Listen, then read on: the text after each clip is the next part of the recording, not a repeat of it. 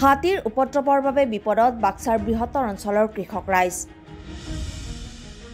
বনৰীয়া হাতীৰ বাবে জিলাখনৰ জাৰ তালুক নিচলামাৰী আদি গাঁৱৰ কৃষক ৰাইজ প্ৰতিবছৰে যথেষ্ট সমস্যাত পৰে। নদন বদন খেতিপথাৰত এতিয়া বনৰীয়া হাতীৰ আতংক দেখিবলৈ পোৱা গৈছে। মূৰৰ ঘাম মাটিত পেলাই কৰা খেতিডৰা তহিলং কৰিলে বনৰীয়া হাতীৰ জাকে। বিগত দুহেজাৰ ওঠৰ চনৰ পৰা হাতীৰ এটা বৃহৎ জাকে অঞ্চলটোত চলাই আহিছে উপদ্ৰৱ। সন্ধিয়া হ'লেই হাতীৰ জাকে প্ৰৱেশ কৰে খেতিপথাৰত। এফালৰ পৰা ধান খাই তহিলং কৰে হাতীৰ জাকে যাৰ পৰা এতিয়া কৃষকসকলে বিচাৰিছে পৰিত্ৰাণ। চৰকাৰক এই ক্ষেত্ৰত উচিত ব্যৱস্থা ল'বলৈ দাবী জনালে কৃষক ৰাইজে।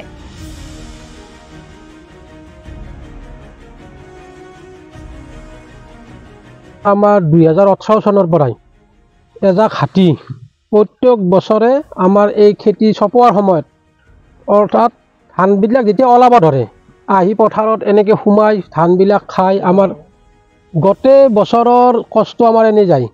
আমি ধৰক বহাগ জেঠ মাহৰ পৰা কঠীয়া পাৰি হাল বাই বিভিন্ন ধৰণৰ সা সঁজুলি দি মাটি চহাই খেতি বাতি আৰম্ভ কৰোঁ। কিন্তু কাটাৰ সময়ত প্ৰত্যেক বছৰে এনেকৈ হাতীৰ জাকটো আহি উপদ্ৰৱ কৰে।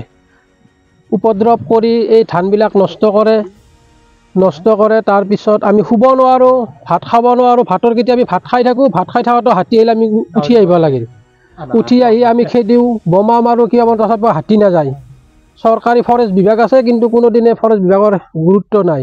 কেতিয়াবা আহি পেট্ৰলিং কৰি গুচি যায় কিন্তু আমাৰ এই ধানবিলাকক সুৰক্ষা দিব লাগে কিবা দিব লাগে এনেকৈ একো নাই। আমাৰ এই ঠালকুছি অঞ্চলৰ আটাইবিলাক মানুহে কৃষিজীৱী। সকলোৰে আশা এই ধানখিনিৰ ওপৰত। ছমাহ কষ্ট কৰে ধানখিনি যদি কাটিব নোৱাৰে অৰে বছৰ আমাৰ তাৰমানে খোৱাৰে তাৰ চিন্তা। কি কৰি খাব? এতিয়া ধান কাটিব হৈছে ধান কাটিম ক'ত হাতী উপদ্ৰৱ। আনকি এনেকুৱা হৈছে যোৱা বছৰ আমাৰ ইয়াত এজন মানুহো হাতীৰ আক্ৰমণত মৃত্যু হৈছে। আৰু ঘৰ দুৱাৰ ভাঙিছে। আৰু অকল খেতিয়ে নহয় আমাৰ অকল ধাননিৰ নহয় আমাৰ বাৰী বস্তিত কল নাৰিকল তামোল এইবিলাকো খাই নোহোৱা কৰি পেলাইছে।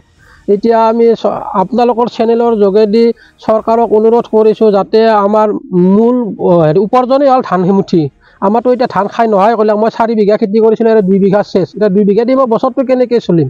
যাতে চৰকাৰে আপোনালোকৰ চেনেল গম পায় আমাক কিবা হ'লে অলপ আৰ্থিক সাহাৰ্য দিয়ে। সেই বুলিয়ে আমি আশা কৰিছোঁ। কি কৰে নাজানো আৰু।